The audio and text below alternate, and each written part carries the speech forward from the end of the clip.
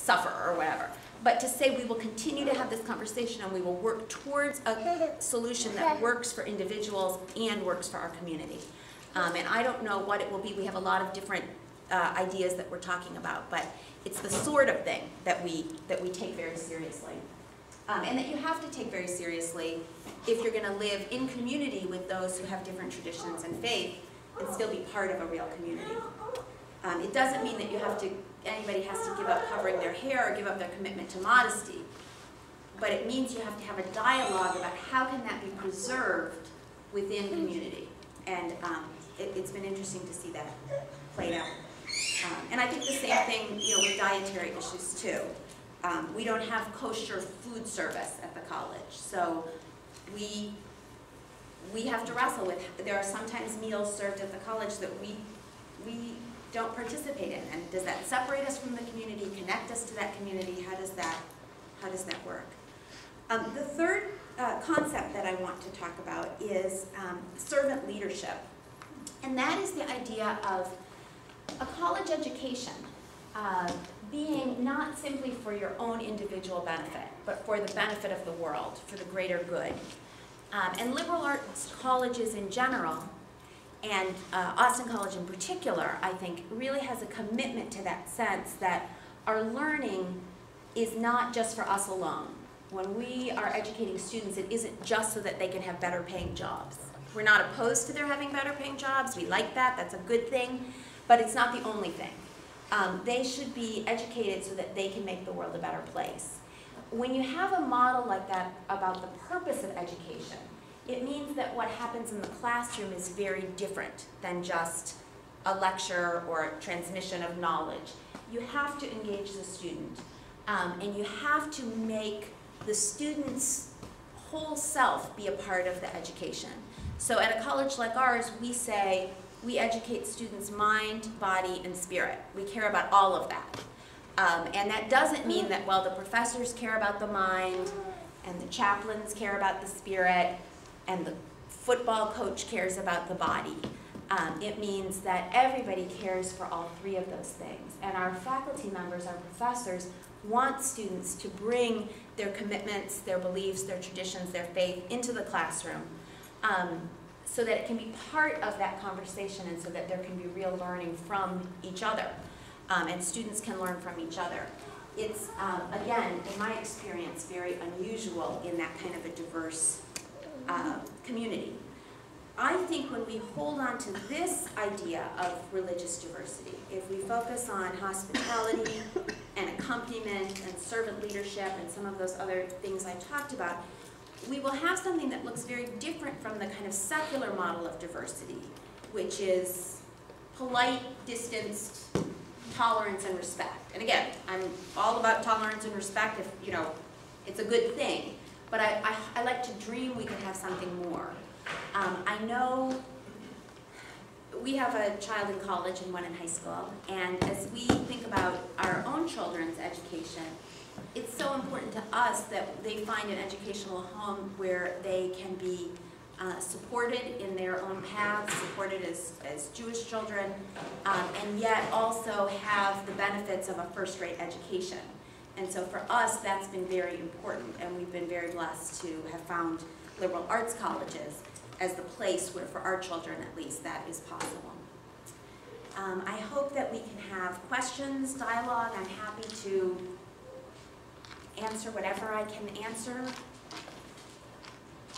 And uh, I have spent many years as a college professor, so if you don't ask me questions, I will start asking them of you, um, which I'm happy to do.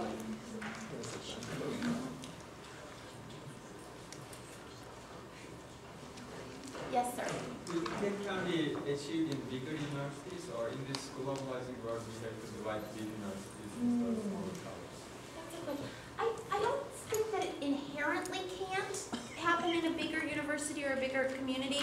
I just think it's much harder because you can have a critical masses of groups and you have more space to spread out. And I think it is comforting to sort of stick with our own group and um, not to find those ways to interact if you don't have to. So I think it's harder in bigger communities.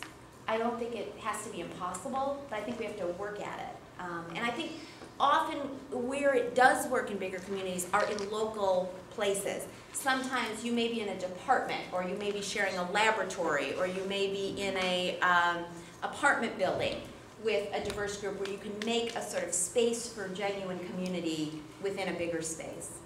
Um, you know, ideally, I would think, couldn't it happen in countries and governments and the world? Um, but I, uh, and I, I, you know, I have hope that it could, um, but I think it often has to start small. And that's not always how we think. Sometimes the gifts start big and work down to the small.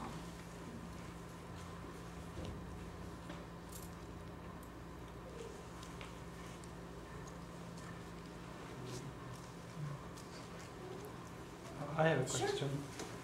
Uh, Your, uh, not specific to the Austin College, but hiring, pro- hiring practices within the, within the universities.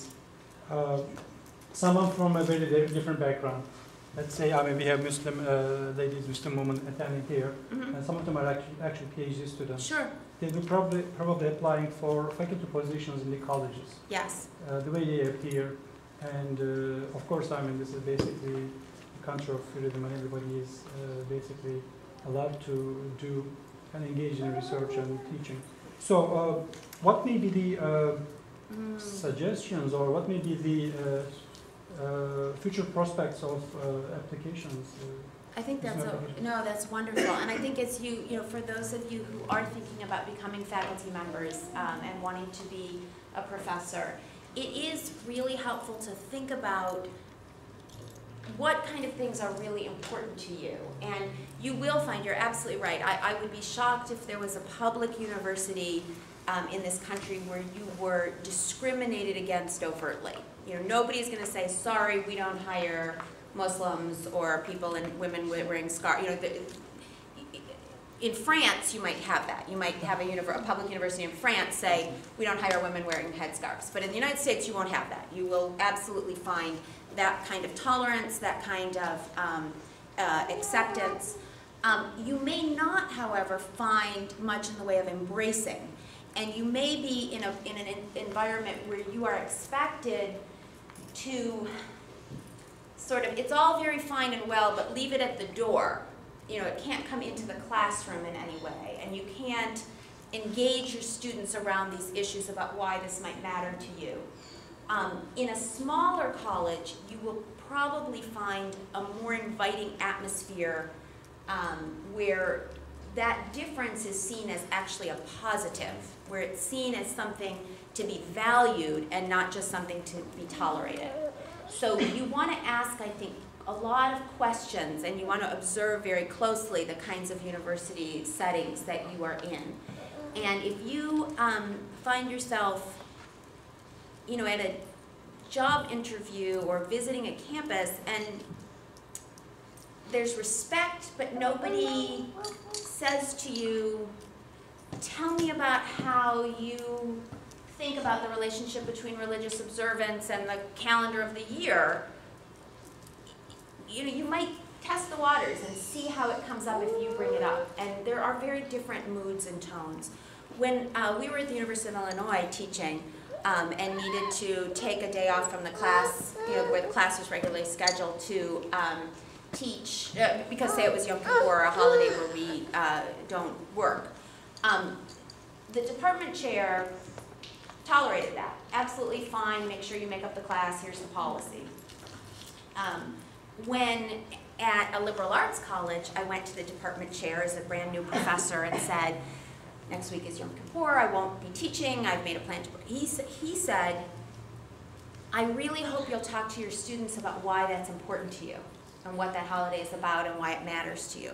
Not to try and, I mean, you know, it wasn't to try and convert them in any way. It was to explain that this is a commitment I have, that I'm more than just a brain. I'm a soul, I'm a body, and in a liberal arts environment, that's welcomed.